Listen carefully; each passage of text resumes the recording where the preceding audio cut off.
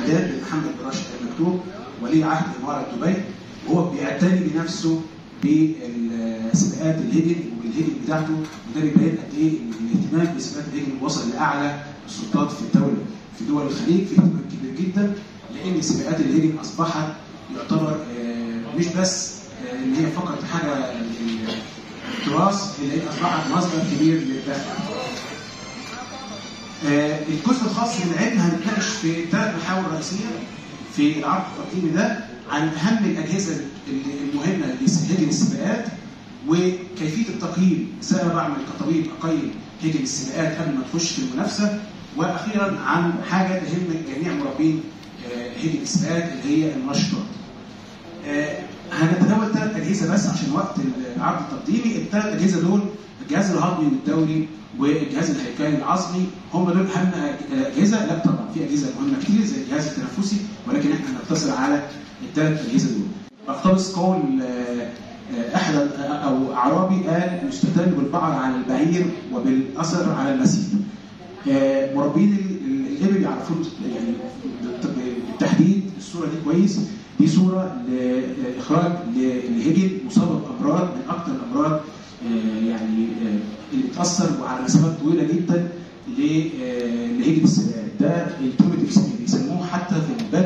بيسموه الجرحى لأن ال enterotoxemia الكوليستيريميا بتأثر على مش بس بتعمل ال enterotoxemia لا دي كمان بتأثر على ال kidney فبتعمل ال- الشكل الاخراج ده. آه، طبعا الهضم هو أساس الاهتمام الأول لهجن السباق. وفي الهضم آه، لازم أهتم بالتغذية. وزي ما قال الدكتور عادل إن يكون في علاقة توازن ما بين ال concentrate وال fiber اللي هو الحبوب زي الشعير وزي الذرة والالياف دي حاجة مهمة جدا لأن الإبل عندها قدرة كبيرة جدا على الاستفاده من البروتين فمش محتاجة إن أنا أضغط عليها بكميات كبيرة من المركزات تؤدي إلى أمراض خطيرة من ضمنهم المرض اللي اتكلم عليه الشافعي اللي هو المرض المنتشر اللي بيعمل حمى.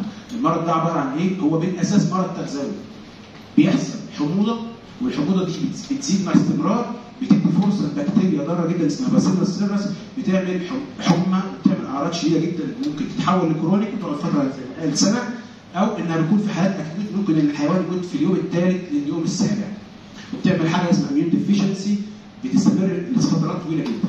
فدي من الأمراض الخطيرة جدا اللي بتصيب هجن السباق وال- والعلف ده أنا اشتغلت عليه وعامل حتى آه، زي كتيب عن تغذية الهجن العلف ده آه، ده علف مركب خليط متوازن ما بين الكونسنتريت والرافج وإحنا عملناه في نيوزيلندا واشتغلنا بيه في دبي وعملنا أول آه، بحث مشاركة بحث في المجله الموجودة عن العلف ده وأهميته وإزاي بيكون له تأثير كبير جدا كبير على سباقات الهجن. آه، التغذية أنا مش هتكلم عنها الدكتور عادل اتكلم عن موضوع التغذية حاجة مهمة جدا لأن زيادة الحموضه مش بس بتتصل على الكرش بتنتقل للدم بتزود الحموضه في الدم وفي العضلات.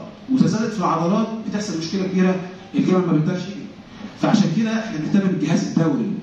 والجهاز الدوري يعني دم وشرايين وقلب. هنركز إحنا على الدم؟ الدم ده هو الميزان بتاع هجن السباق. ليه؟ لأن أنا المربي دايما بيحب يطمن على الجبل بتاعه قبل ما يخش المنافسة. بيشوف إيه؟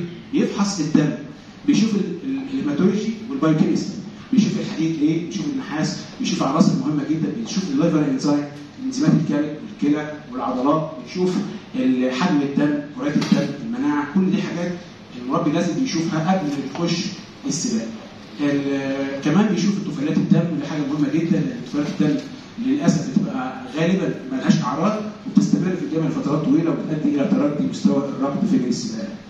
آه، حاجة ثانية من الحاجات اللي هي مهمة جدا في الجهاز الدوري اللي بيحاول المربي إن هو يرفع آه، آه، الدم زي ما بيقول بيرفع الدم بيرفع قيم الدم لهجن السباقات فبيلجأ للطريقة دي اللي هي اللي هي نقل الدم. ونقل الدم إن شاء الله يكون في برضه بحث دي إن شاء الله في إن شاء الله نلحق العدد الثاني عن آه، الآثار السلبية لنقل الدم على هجن السباق. نقل الدم زي ما هو مفيد في حالة غير مفيد في حالات كثيره جدا. في مواضيع كثيره في نقل الدم ولكن الصورتين دول دي الصورة الأولانية دي الصورة دي دي صورة لجمل بيتاخد منه دم ودي حاجة يعني مش يعني سيئة إن هو حوالي ست أكياس دم بسحبها في نفس التوقيت دي حاجة آه، مش مش مش جيدة بالنسبة للجمل ممكن يؤدي إلى النفوذ الحاجة الثانية إن هو بعد ما نقل الدم فهو الدم بقى عالي جدا. فالجبل مش هيقدر يجري. فعايز ينزل الدم فيعمل إيه؟ يسحب دم منه. دي برضو ممارسه من الممارسات الخاطئة. إن هو لما يجي يسحب دم ويسحبها طبعا بالطريقة دي أنا يعني طريقه مش مش افضل حاجة إن أنا أربط عين الرقبة بتاع الجبل وأقدر أسحب منها كميات أنزل منها كميات حوالي لترين أو 3 لتر من الدم شيء قاسي الممارسات اللي إحنا يعني مش بنشجعها والأفضل طبعا هو التعامل مع الطبيب لزيادة الدم أو نقصه. هنا الجهاز الهيكلي العظمي فيه كذا حاجة، فيه العظام، في الأوتار والمفاصل والعضلات. في إصابات بتحصل في العضلات كثيره جدا زي بيسموها أهل الهجن بيسموه الهدد أو اللي هي عضلات ال pectoralis muscle.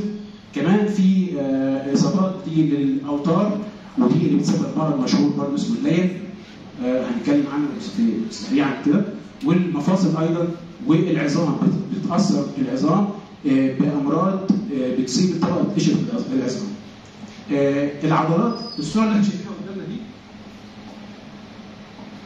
اللي هي الصورة دي دي بتبين الأماكن الخامقه دي الأماكن اللي, دايما الدكتور بيركز عليها في العلاجات الموضوعية إن أنا لما أجي استخدم بما يسمى المروخ أو ال liniment أو ال counter irritant استخدم في الأماكن دي. دي أهم أماكن بركز عليها أثناء المعالجة ورعاية هجن السباق آه كمان بعمل monitoring للعضلات. أنا لما أجي أفحص العضلات وأقدر أقيم العضلات بقيمها بعدة آه انزيمات أو عدة فحوصات. أهمها الانزيم LDH والانزيم ال CK وكمان الأهم من ده كله هو ال lactate وال lactate فيه فحوصات مهمة جدا. أنا بفحص ال lactate والجمل داخل على السباق.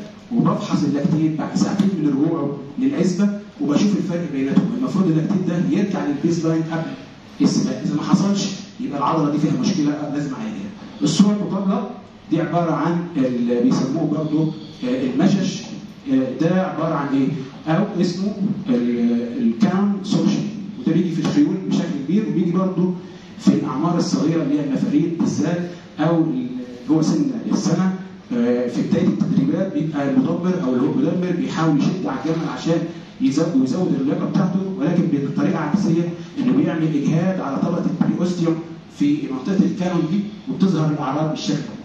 طبعا من الحاجات اللي بتصيب برضه الجهاز الهيكلي ده اللي هو الخف والخف دي من الحاجات المهمة جدا لهجن السباقات ودي صوره إحنا كنا عاملين اشعه إكس على الخف وده الصورة الهيكل العظمي التشريح وكمان صورتين الصورة دي؟ مش عارف اذا واضحة؟ دي هنا بيحصل إن الخف نتيجة لإصابات الأوتار بيحصل تلين فبدل ما يبقى الخف واقف مستقيم كده فبيتلين. اللين ده جمل السباق ما يقدرش يجري وإذا كان في لين فطبعا في أدوية وعلاجات مهمة اللي بترجع بتعمل يعني ال contract ligament ده بترجعه وضع الطبيعي. آه كمان من الإصابات اللي بتيجي للخف اللي هي التورم المفصل الخف وفي برضه حاجة بتيجي مشهورة جدا اللي هي بيسموها الحفا أو اللي هي ال hoof ulcer أو القرح اللي بتيجي في الخف بتاع الجمل والقرح دي آه ممكن تستمر فترات طويلة جدا وبيكون العلاج لها علاج آه موضعي وكمان بيكون في علاج عن طريق التغذية.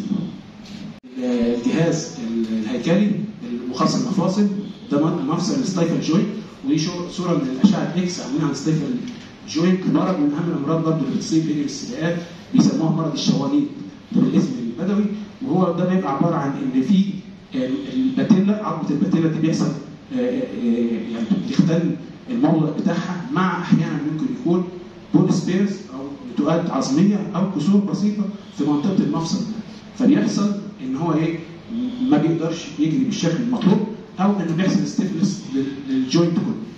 هنا برضه بعض الأمراض اللي بتصيب أهم المفاصل زي مفصل العرقوب ودي ال hock joint ده مفصل مهم جدا ده الشكل التشريحي وده الورم والأعراض ال cardinal signs الواضحة بتاع ال inflammation. آه الطب الشعبي هو طب يقارب من يعني هو بيرتكز على الناحية العلمية واتكلم عنها الدكتور عادل ان لما بعمل كي أنا بحول الحالة من حاله chronic لحالة acute. مش كل الحالات بيحصل فيها آه يعني ال prognosis بتكون كويسة. الحالة اللي اتكلم عنها الشيخ برضه الخاصه ب المفصل اللي عملنا عملية الكي قد ينجح لأن هو هنا في المرحلة في ممكن يكون هنا السبب ما كانش سبب خاص بالمفصل نفسه ممكن يكون السبب خاص بال nerve supply.